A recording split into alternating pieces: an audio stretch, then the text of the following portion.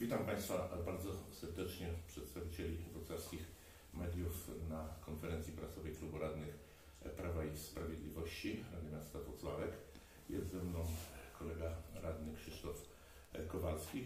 Dzisiaj chcieliśmy na e, tej konferencji e, podzielić się z Państwem e, naszymi opiniami i refleksjami na temat świeżo co przyjętego budżetu miasta na 2020 20 rok przez Radę Miasta w dniu 16 grudnia, jak również z tymi sprawami związanymi okołobudżetowymi, które wiążą się chociażby z podwyżkami cen za usługi dla mieszkańców.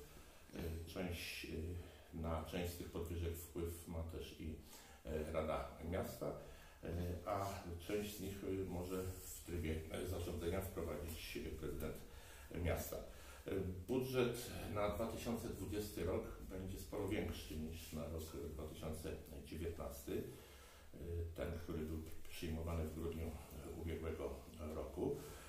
I te dochody teraz będą na poziomie 756 milionów i 80 miliona złotych i one będą wyższe o 91,3 miliona złotych Natomiast wydatki są już na poziomie ponad 800 milionów, 809,7 miliona złotych i te wydatki są wyższe aż o planowane wyższe o 139 milionów e, złotych niż w roku 2019. E, e, deficyt jest też wyższy o 48,7 miliona. Wydatki majątkowe też są duże, planowane na rok 2020, bo na poziomie 133 milionów, co stanowi około 17% e, dochodów miasta, e, więc budżet generalnie rzecz biorąc jest, jest dużo wyższy.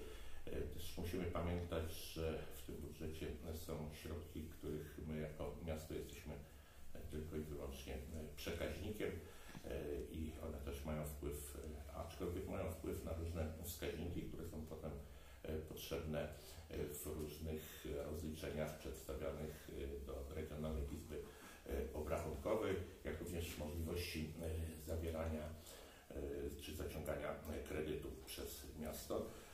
I takim bardzo pokaźnym zastrzykiem dla miasta jest pomoc dla rodziny, bo tutaj aż 111 milionów złotych, z czego w przyszłym roku 34 miliony złotych wzrośnie, wzrośnie wkład na 500 plus, y, dlatego że już wszystkie rodziny, y, które posiadają dzieci będą objęte tym programem y, i ten wkład jest wyższy, bo, bo ten program nie zaczął się od początku tego roku, tylko w okresie późniejszym.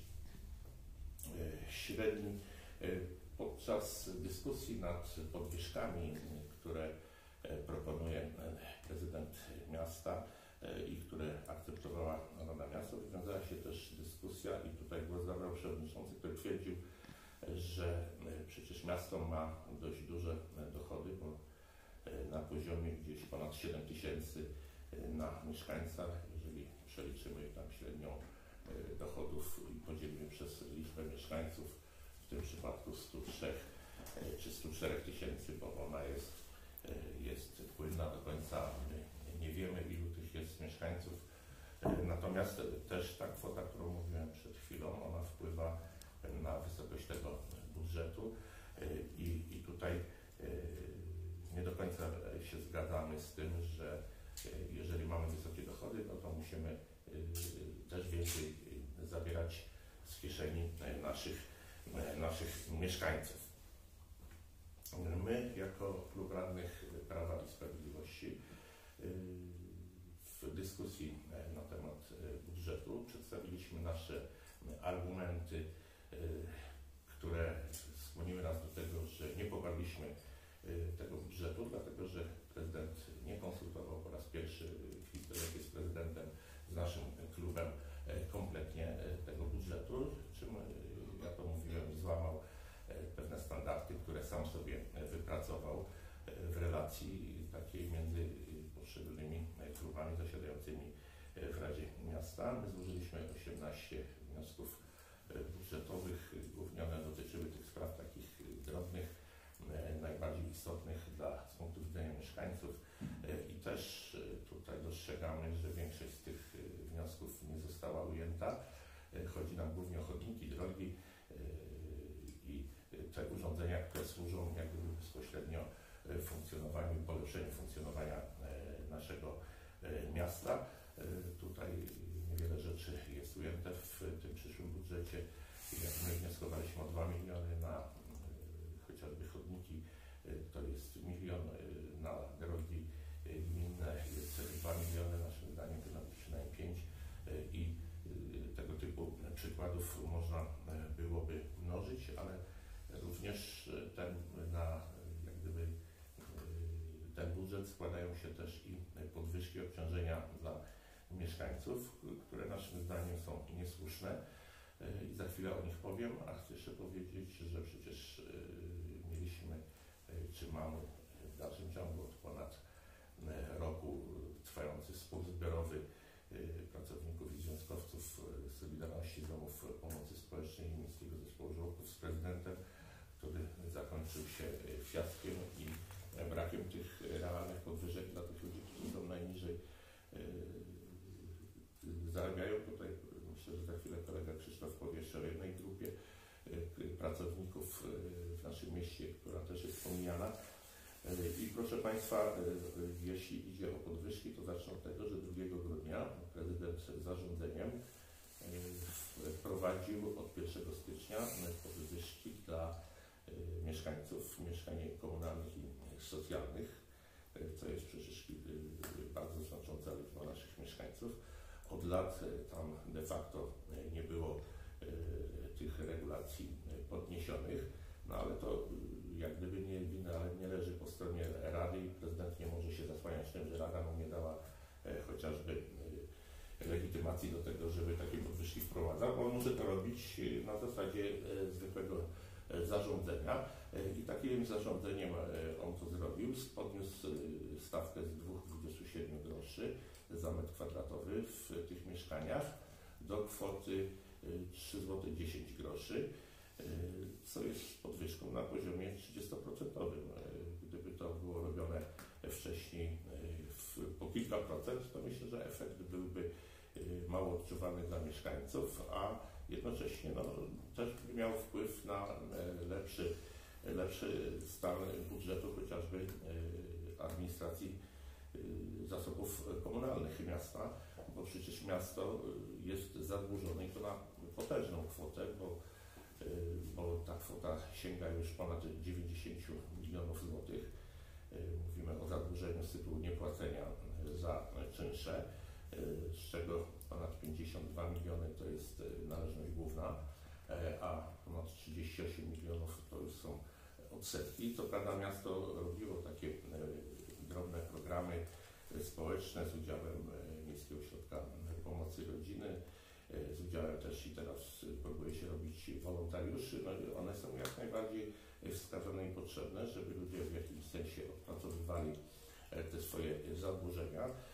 Natomiast no, te, te programy to jest tam kilkanaście czy kilkadziesiąt tysięcy złotych i to generalnie rzecz biorąc nie, nie rozwiązuje tego problemu bardzo dużego zadłużenia. To jest jedna sprawa, jeśli chodzi o podwyżkę opłat lokalnych. Następne to jest podwyżka od środków transportowych i od podatku od nieruchomości. Na to już Rada Miasta wpływ ma.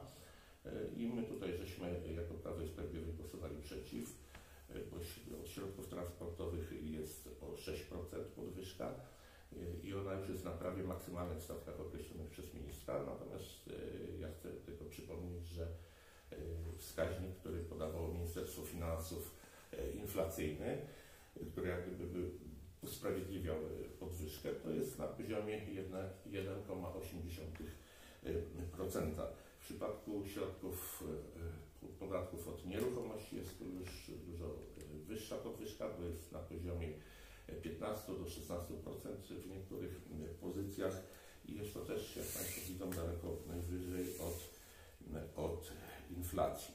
No i tak y, najwięcej emocji chyba wywołała y, podwyżka opłaty za parkowanie i tutaj też no, przecież y, można było wcześniej te sprawy regulować i, i nie w sposób tak drastyczny, jak się chce teraz, bo teraz ta podwyżka będzie na poziomie 30% za pierwszą godzinę ze złoty 60 do 2,20 rośnie, ale naszą uwagę i, i, i nasze oburzenie wręcz na to z kolei się oburzył prezydent po moim wystąpieniu to bierze się z tego to, że po prostu y, kary za y, niedokonanie opłaty y, w ciągu pierwszych 7 dni rosną z, z z 20 zł do 110 zł, a jak przeliczymy na procenty, to jest to 550%. Natomiast powyżej 7 dni to już to nie jest 550% i nie jest to kwota 110, tylko jest to kwota 220 zł i proszę Państwa, to już jest 1100%, więc to już może działać na wyobraźnię e, mieszkańców. I teraz taki mieszkaniec, który no, czasami nie z własnej winy, bo gdzieś został w przychodni czy gdzieś przytrzymany e, i nie mógł wcześniej e, czy w urzędzie załatwić sprawy i spóźni się tam powiedzmy 15 czy, czy 20 minut, będzie takiej drastycznej karze podlegał. My nie twierdzimy, że kary, które były do tej pory, te 20 zł, to, to była kara, można powiedzieć, symboliczna. E, nie twierdzimy, że nie powinny być, ale nie powinny być aż tak drastyczne i w takiej wysokości e, dla e, po prostu naszych mieszkańców.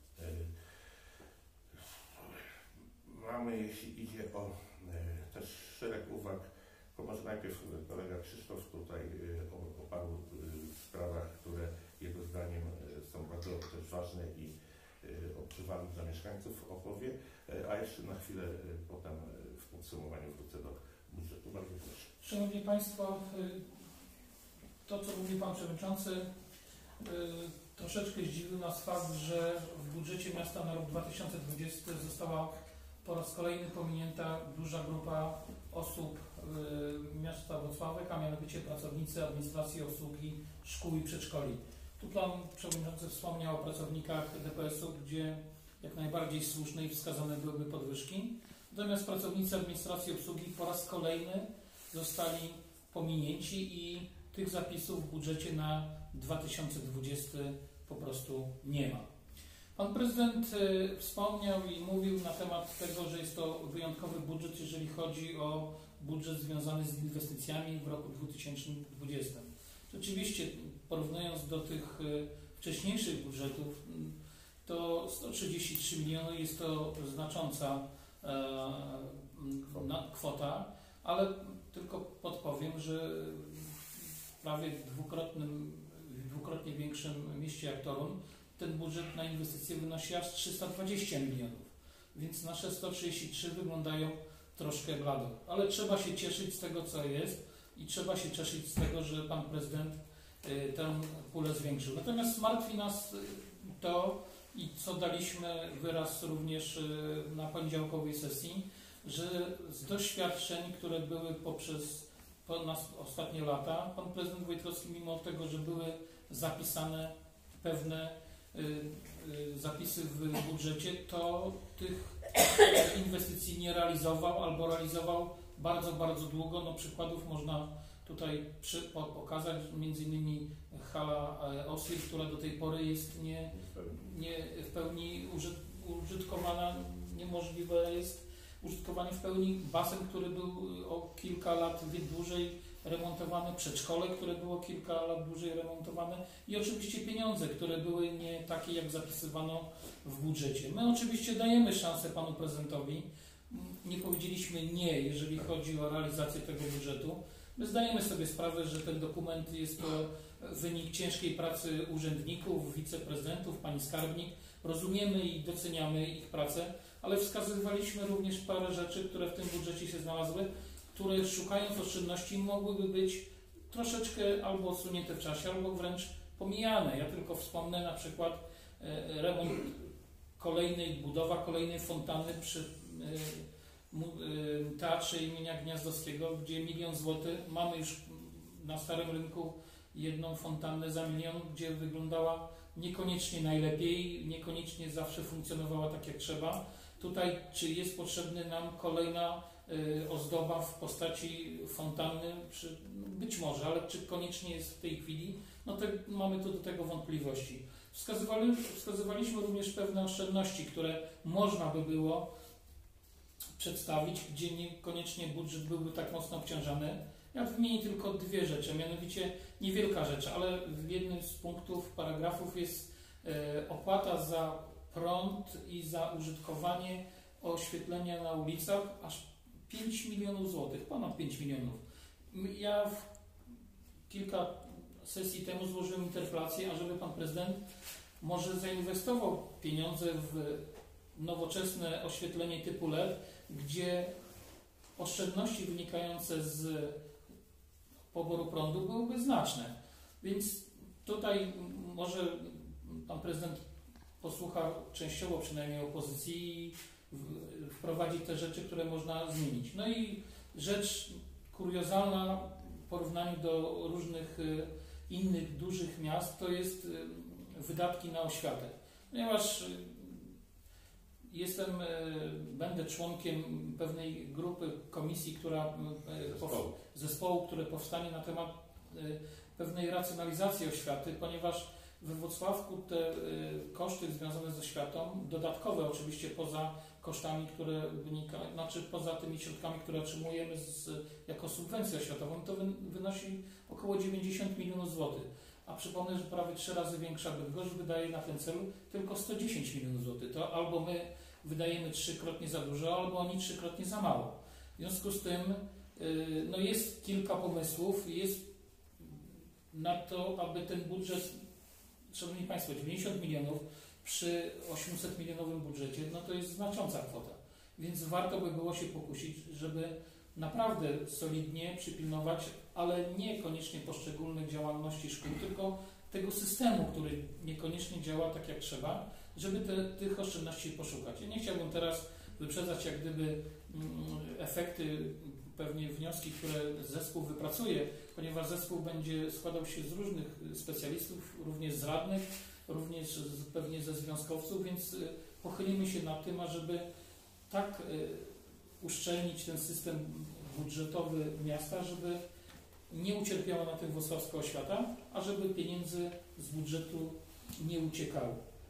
Szanowni Państwo, również pytałem, między innymi jeszcze tylko wspomnę na koniec o, y, w jednym z paragrafów jest 2 miliony złotych na poprawę funkcjonowania Urzędu Miasta.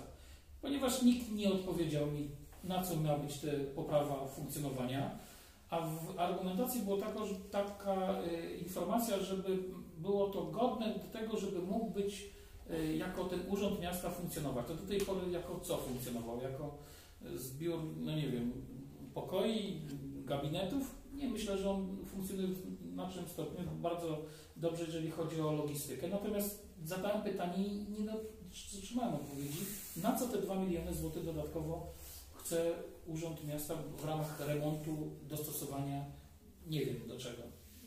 Kilka jest takich sytuacji, planuje się jakieś pieniądze na y, y, zmianę koncepcji funkcjonowania Placu Wolności. Czy to jest teraz tak bardzo potrzebne?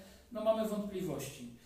A zabrakło parę rzeczy, które, które zgłaszaliśmy, między innymi już Pan Przewodniczący powiedział, budowa hali na sportowej na Zawiślu przy szkole, zespole szkół nr 8, y, pieniędzy na chodniki, pieniędzy na remont dróg. Y, cały czas zgłaszają się do nas mieszkańcy, a nie ma w budżecie zapisanej ulicy Żwirowej, nie ma ulicy Chemików, gdzie od wielu, wielu lat borykamy się z problemem. Nie ma jednej ulicy połączenia. Od lat ją powtarzamy jako wniosek. Jest grupa mieszkańców na tak zwanym osiedlu Wilgi y, w Michelinie, gdzie kilkaset mieszkańców, tam już chyba dochodzili chyba do tysiąca, nie ma połączenia z, y, tward, z utwardzonymi drogami, no bo, tam jest po prostu horror. Y, I od jeszcze za czasów, gdy zastępcą prezydenta do spraw inwestycyjnych była e, pani Magdalena Korpola-Komorowska, y, na mój wniosek powstał projekt takiego krótkiego odcinka, który by połączył z ulicą Brzezinową e, od ulicy Łubinowej, ulicy Cienistej. To jest dosłownie tam 250 metrów no i tu nie wiem, dziwny upór ze strony miasta, żeby tego nie robić, bo, bo miasto jest pokłócone z deweloperem, czy, czy no, w, w, chodzi o zupełnie inną drogę, o E, która tylko w części jest, ale tutaj mamy krótki odcinek, który by już tym mieszkańcom na pewno ulżył. Tego, tego miasto e, nie chce zrobić i to dla mnie jest po prostu kuriozalne i nie do przyjęcia. E, I chciałem powiedzieć jeszcze, proszę Państwa, gdyby podsumowując te sprawy związane z wydatkami majątkowymi. Pan prezydent, jego zastępca do spraw inwestycji bez przerwy tam takimi różnymi PR-owskimi sztuczkami próbują nam mówić, co to my nie zrobimy, co nie osiągniemy i tak dalej, i tak dalej. To ciągle i my mamy tak zwaną, mówiąc brzydko i kolokwialnie, obsuwę. Z roku na rok pewne rzeczy się przesuwają. Tak jak przesuwa się budowa alternatywnej drogi na Jana Pawła II, tak przesuwa się, a, a środki się pewne zapisuje w budżecie, prawda? I one przechodzą. E, Zapisało się w tamtym roku, miały być budowane baseny letnie, będą e, budowane. W tym roku przejście na ulicy Radosnej miało być budowane w tamtym roku, przesuwa się na ten rok. Nie wiemy, czy niepodobnie będzie, e, będzie teraz E, i myślę, że będziemy bardzo mocno pilnować, żeby po prostu e, i, i patrzeć na ręce prezydentowi i jego zastępcom, żeby nie dochodziło do takich sytuacji, że właśnie na kolejne lata znów coś, coś przesuwamy, bo czegoś nie udało się dobrze policzyć, nie udało się przygotować e, odpowiedniej specyfikacji istotnych warunków zamówienia e, i potem wychodzi tak, wychodzi, że y, cena oferowana przez miasto jest nieadekwatna do tego, co mogą dać przedsiębiorcy, którzy będą wykonywali te zadania. Takim przykładem przesuwania jest też sprawa, o której już w maju informowała pani poseł Joanna Borowiak. Na początku maja mówiła, że Ministerstwo Infrastruktury przyznało nam dotację 4 miliony złotych na niezbędny remont zrujnowanej i zdegradowanej nawierzchni na Tanie. E, Zukit był wtedy przygotowany i miał gotowy projekt e, techniczny e, do tego wykonania. No niestety zastępca prezydenta do spraw inwestycji stwierdził, że to nie może być remont, no zróbmy tu, żeby że przebudowę, no to wy, wy przeciąga w czasie, ale chcę powiedzieć tak, że od lat procedury e, w ministerstwach się nie zmieniają i jeżeli z rezerwy Ministerstwa Infrastruktury została e, przyznana kwota tych 4 milionów złotych, to ona nam nie przepadnie. Jeżeli w przyszłym roku uda się ten remont zrobić, no to będzie super. Natomiast wcześniej, dopóki ten remont czy ta przebudowa nie zostanie e, rozliczona i przedstawiona do ministerstwa, to my nie możemy ubiegać się jako miasto e, o kolejne możliwości sięgnięcia po e, środki właśnie z tych rezerw, które e, ma ministerstwo. E, A pan prezydent i jego zastępca e, podczas sesji budżetowej mówili, że bardzo będą się starali, zabiegali o to, by pozyskiwać środki zewnętrzne. Ale żeby pozyskiwać środki zewnętrzne, musimy pamiętać o procedurach e, i o tym, że tych procedur należy pilnować, bo inaczej to no niestety nie będziemy pozyskiwać e, środków zewnętrznych, a tych środków własnych e, mamy zdecydowanie e, za mało.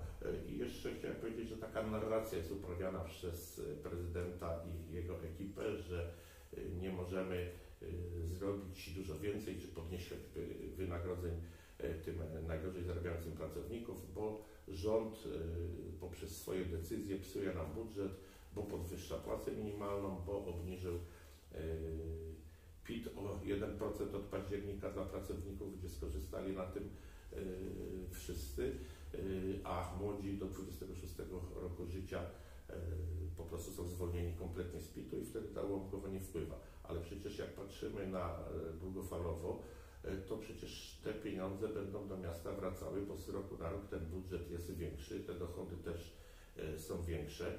E, i jeżeli osoba młoda, która do tej pory nie płaciła, zostaje w mieście, a przecież chodzi o to, żeby nie wyjeżdżali młodzi za granicę, e, tylko pozostawali w naszym mieście, pracowali tutaj i dzielili się również tymi swoimi dochodami e, z naszymi mieszkańcami, no to jeżeli my będziemy tak kwestionować e, tego rodzaju politykę, e, no to, to, to myślę, że daleko jako miasto nie zajdziemy. Natomiast myślę, że w perspektywie długofalowej e, to te pieniądze i te środki y, z tych, że podwyżek y, płac będą również płacy minimalnej, będą w większym ułamku wpływały również do, do budżetu miasta. No bo to jest logiczne, bo jeżeli mamy algorytm tam 48, chyba 3 dziesiąte e, z podatku PIT e, wpływa do tych, którzy płacą PIT e, w naszym mieście, no to, e, to, to siłą rzeczy, jeżeli ten pracownik dostanie e, parę złotych więcej, czy kilkadziesiąt złotych więcej, czy, czy wręcz kilkaset złotych więcej, to i również bę- będzie rósł dochód,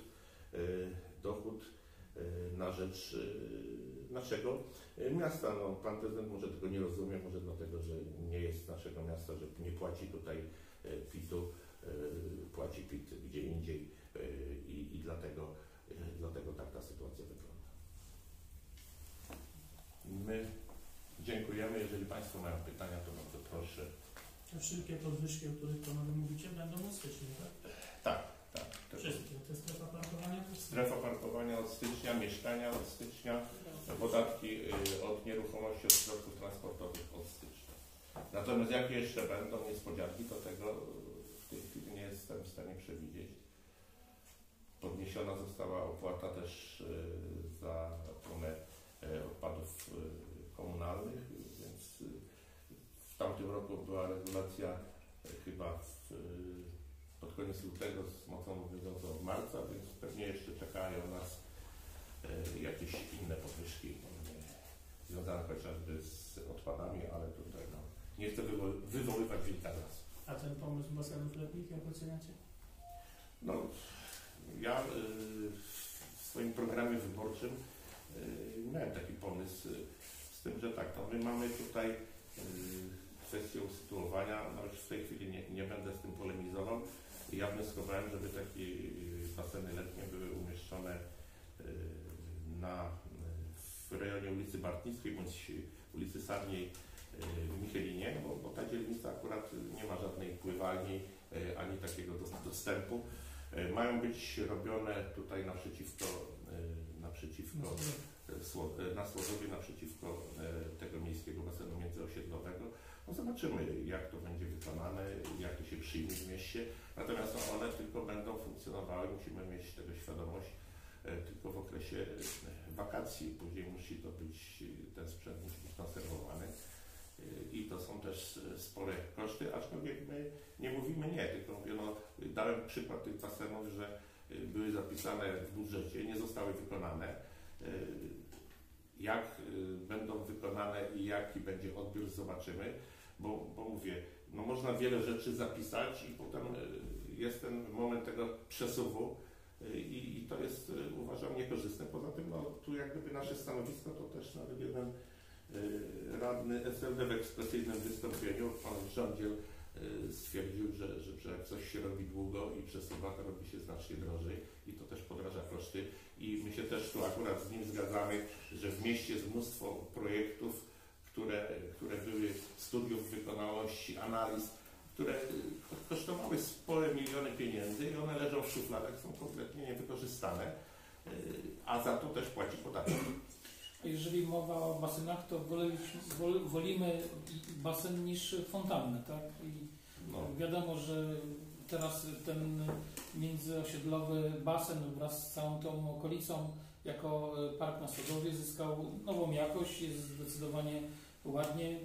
Pewnie baseny ożywiłyby jeszcze bardziej ten, ten teren, więc jak najbardziej. No jeżeli ma to służyć mieszkańcom, to zdecydowanie jak najbardziej tak.